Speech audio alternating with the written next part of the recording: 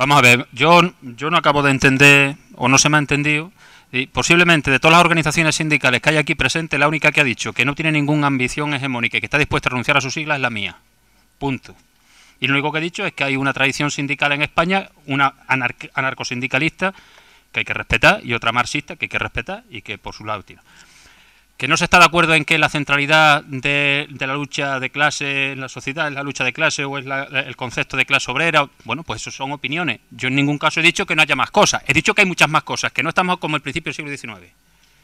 Pero que para mí, evidentemente, diga Manolo lo que diga, yo no he dicho el 99%, pero que la inmensa mayoría de nosotros, si no tuviéramos trabajo, mientras que esto sea capitalismo, Mientras que esto sea capitalismo, no comeríamos y por tanto estaríamos al borde de la exclusión y por tanto no seríamos posibles integradores de la lucha. Es decir, integrarnos, juntarnos, arrinconarnos entre nosotros, es decir, no tener miedo a ir sin siglas. Es decir, pues eso es precisamente lo que yo he planteado. Vamos, si es que lo tengo absolutamente claro, absolutamente claro. Lo único que yo digo, lo único que yo digo es que hay que organizarse.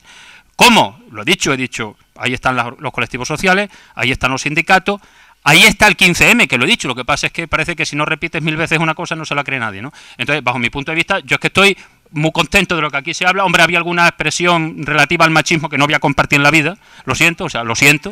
Es decir, yo si, digo mm, mm, los hombres, las mujeres, nosotros, nosotras, pues bueno, pues yo lo siento, es decir, pues a lo mejor un problema, un defecto, pero que yo desde luego no me considero machista por eso, el machismo se demuestra en otras cosas. ¿eh?